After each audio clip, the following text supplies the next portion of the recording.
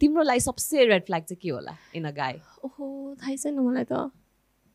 Hmm. सबसे। Annoyed भएको।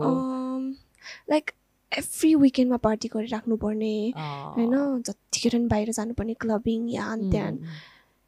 उम्, सक्दिनँ. रहेछ। हो आई थिङ्क ट्रु त्यो पनि अब उसको वर्क त्यो भएर.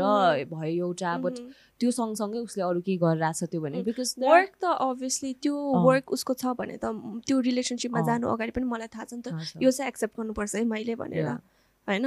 तर वर्क पनि छैन खाली साथीहरूसँग त्यो चाहिँ आई थिङ्क विथ टाइम अब यो उमेरमा होइन वर्क चाहिँ एकदमै फेरि हामी सबैजना आजकल धेरैजना सिन भेरी. एम्बिस एम्बिसियस हुन्छ नि त अनि त्यो भएन भने त त्यो कम्प्याटेबिलिटी हुँदैन आई थिङ्क. त्यो रेड फ्ल्यागै हुन्छ है अरू त के हो सबसे रेड मलाई पनि रेड आई थिङ्क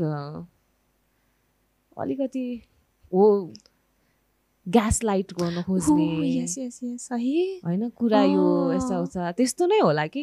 अहिलेको एजमा त आई थिङ्क धेरैजना अब मचरै हुन्छ होइन? पहिला पहिला त अब टक्सी फोटो पोस्ट नगर त्यस्तो त्यस्तोहरू।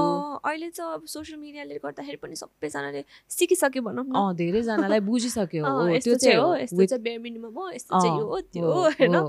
त्यही त नभए त कति मक्खै पर्थ्यो नि त आजकल चाहिँ आई थिङ्क सोसियल मिडियाले गर्दा धेरै नै बुझे जस्तो। ट्रु ट्रु ट्रु त्यो चाहिँ हो। ओके सो यो थियो है red flag green flag I think धेरैजनालाई अब। आकृतिको पर्सपेक्टिभ पनि थाहा भयो।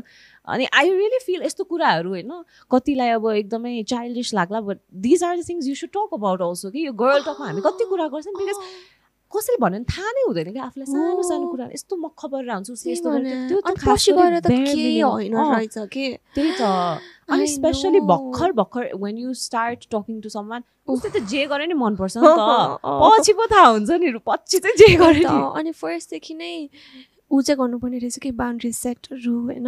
यति उति। मलाई के मन पर्दैन कि त्यो चाहिँ गर्नुपर्ने रहेछ उम्, बिकज पछि गएर अब अब चेन्ज गर्छु भनेर चाहिँ हुँदैन रहेछ।